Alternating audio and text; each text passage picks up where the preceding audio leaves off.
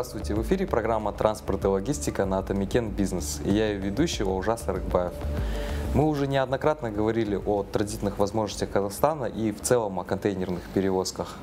А, но ввиду прихода нового руководства в КТЖ а, на данный момент идет пересмотр всей стратегии. И сегодня у нас в гостях генеральный директор компании КТЖ Экспресс Абдулаев Дмитрий. Дмитрий, здравствуйте. Здравствуйте. А, Дмитрий, и первый вопрос.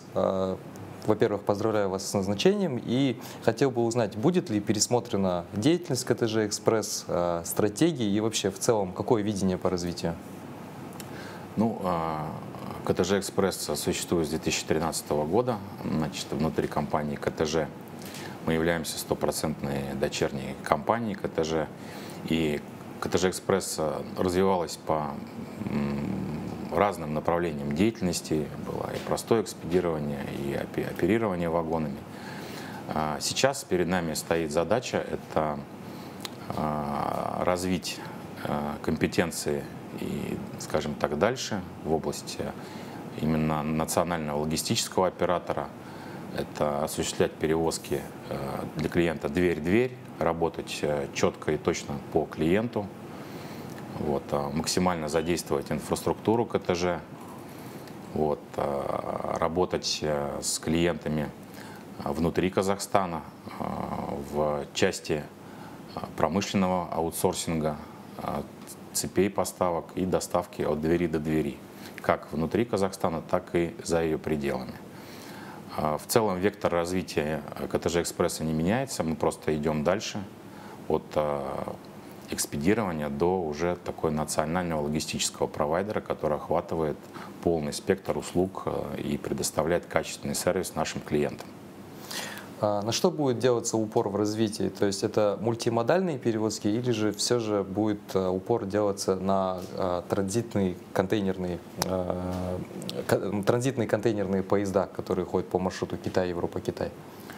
А, конечно, мы дальше будем развивать контейнерное направление между Китаем и Европой, развивать наш маршрут, коридор ТМТМ. То есть контейнерные перевозки, они остаются в контуре КТЖ «Экспресс», Дополнительно мы добавляем такие бизнес-направления, которые позволят нашему клиенту, то есть не только заказать контейнерную перевозку, но и осуществить там, любую логистическую услугу, вплоть а, до перевозки мелких партий грузов, там, сборка и автомобильные перевозки, значит, морской фрахт через порты наших соседей.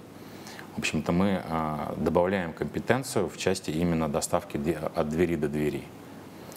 А какие маршруты будут а, развиваться, то есть те, которые есть, какие дополнительно планируются вами? Ну, мы будем развивать наши э, текущие маршруты. Мы видим рост контейнерных перевозок. То есть мы в 2018 году 537 тысяч ДФЭ перевезли, то есть планы на 2019 а, год 715 тысяч ДФЭ, на 2020 уже почти миллион.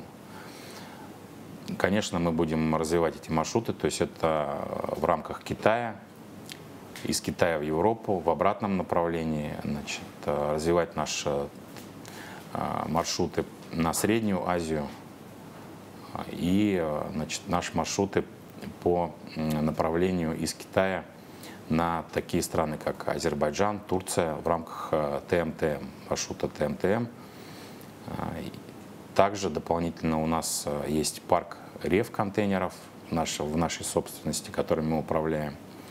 У нас есть интерес запускать рев-поезда по маршруту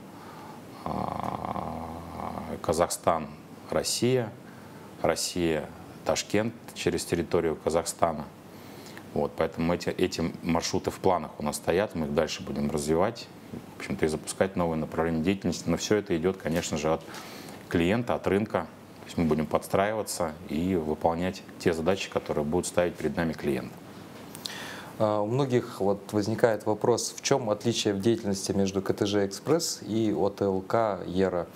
А, Расскажите вот об особенностях а, данного сотрудничества между КТЖ «Экспресс» и ОТЛК. Ну, надо понимать, что ОТЛК – это такая наша сестринская компания, то есть акционером ОТЛК является КТЖ, структура КТЖ, администрация э, железных дорог России и Белоруссии. То есть это эффективный а, оператор на пространстве 15-20. Вот. И мы в рамках э, этого сотрудничества между Китаем и Европой в обратном направлении сотрудничаем с ОТЛК. А КТЖ Экспресс это, конечно, больше коммерческая структура, которая имеет э, разветвленную сеть коммерческих офисов, как в Китае, так и в Европе. И мы э, именно нацелены на работу конкретно по клиенту. А, более того, у нас есть такие активы, которые мы должны развивать, то есть мы обязаны развивать. Это наши активы, которые э, приносят э, эффективность КТЖ и ощутимый доход. То есть это э, Харгос Гейтвей на станции Алтенколь, это сухой порт. Это особая экономическая зона СЭС Харгос, это наши порты. Вот. И мы, конечно, также нацелены на более эффективную их, значит, их работу и прилагаем все усилия для того, чтобы задействовать максимально эти мощности. А, как э, вы, как эксперт э, в области транспорта и логистики, как оцениваете состояние железнодорожной инфраструктуры а, в Казахстане по сравнению, может быть, с международными стандартами, ну и в целом а, со странами СНГ? Ну, да, несмотря на то, что я имею железнодорожное образование, конечно, в большей степени этот вопрос надо отнести к э, специалистам КТЖ, к техническим специалистам. Но сегодня, э, в ближайшие два года, мы не видим никаких ограничений в части пропускной способности КТЖ. Вот. Э, и, конечно, то есть сегодня мы не видим никаких ограничений. И, наверное, когда, если мы будем иметь такие сигналы, то мы, конечно же, незамедлительно э, обратимся к нашей материнской компании для того, чтобы э, технологически э, как бы устранить эти ограничения и наладить эффективную работу. Сегодня никаких ограничений на инфраструктуре мы не имеем.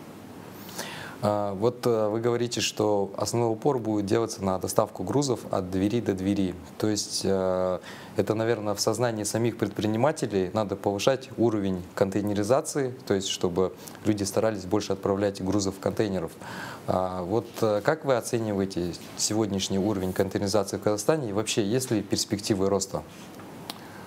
Ну, уровень контейнеризации в Казахстане сейчас на уровне 2%. Вот, э, но идет рост. То есть мы видим рост э, контейнеризации в Казахстане.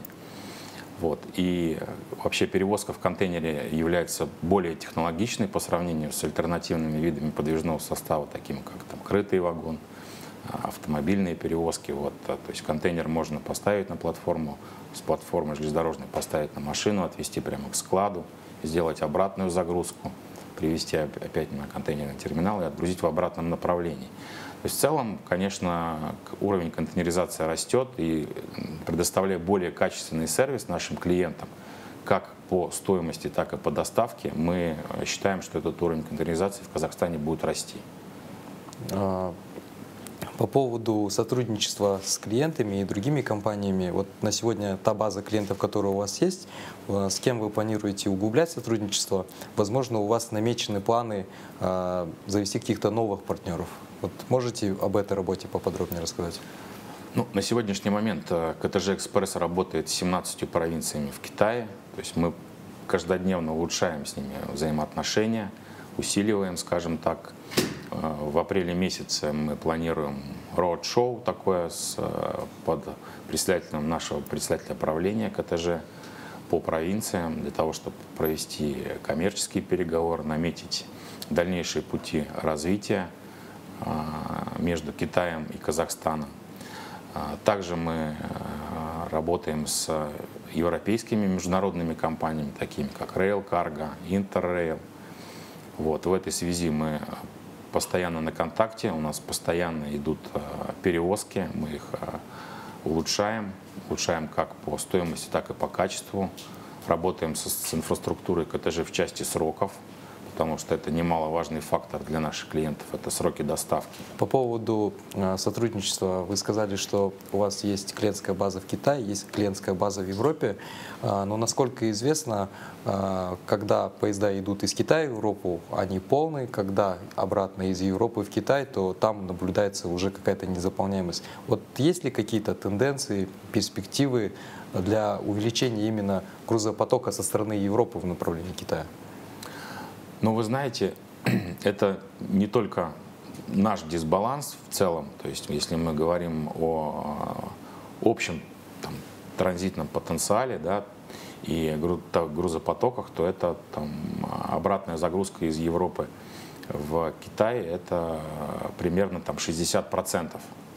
Но мы работаем с этим балансом, то есть мы выстраиваем свои маршруты таким образом для того, чтобы более эффективно использовать наш и подвижной состав, и контейнеры. То есть мы в этом направлении работаем, но это такая, знаете, большая проблема для всех. Но с балансом мы работаем, то есть мы его чуть, даже по сравнению с 2017 годом, в 2018 мы его чуть-чуть даже увеличили, поэтому в целом понимаем, что а, он есть, но будем жить в текущих реалиях, и работать с теми цифрами, которые, как говорится, имеем.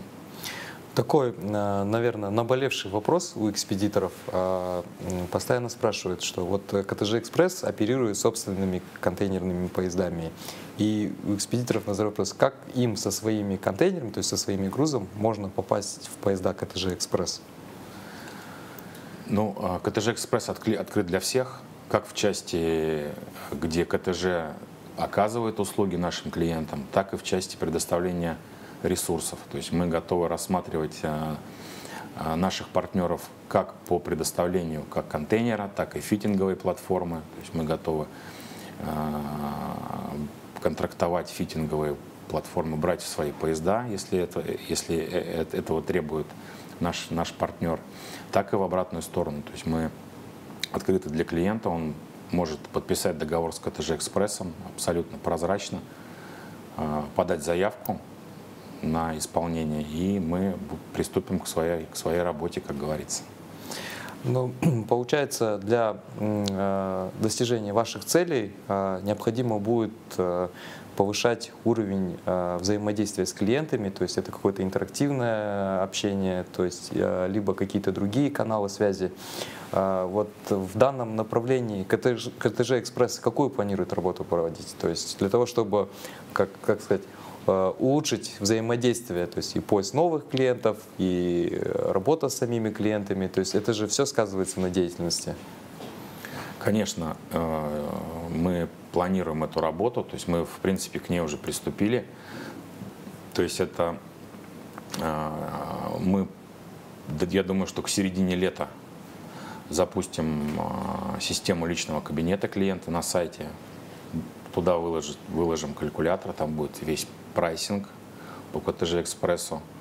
Значит, и внутри мы уже устанавливаем систему взаимоотношений с клиентом, CRM-систему, вот, и будем общаться уже с нашим клиентом через э, веб, веб, веб-общение, то есть где он может задавать вопросы, получать на них ответы, где будет э, вся информация о его перевозках, все э, счета и акты выполненных работ, вся документация, все документы на груз, а, и он будет узнавать через систему личного кабинета, где находится его, его груз, где находится его контейнер или вагон.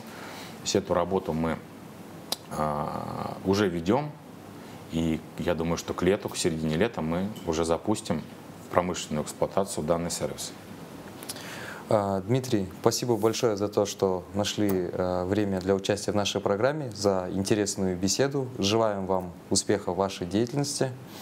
Ну а наша программа подошла к завершению. Увидимся с вами на следующей неделе на Atameken Business. До скорой встречи!